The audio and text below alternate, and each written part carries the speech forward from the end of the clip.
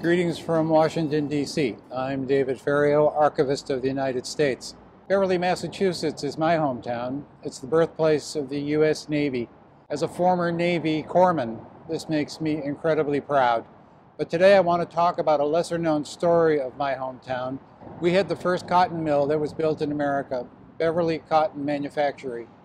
It used experimental techniques and machinery. At the time, it was the largest mill in the country, and in 1789, George Washington came to visit it.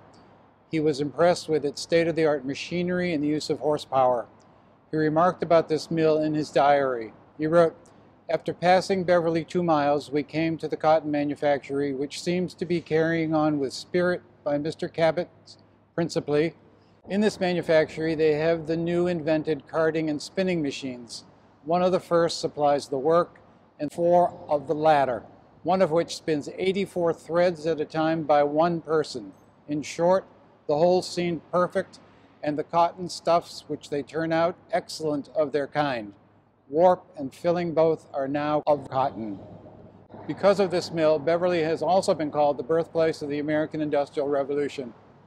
You can find George Washington's diary entry on Founders Online, a searchable website hosted by the National Archives through the National Historical Publications and Records Commission.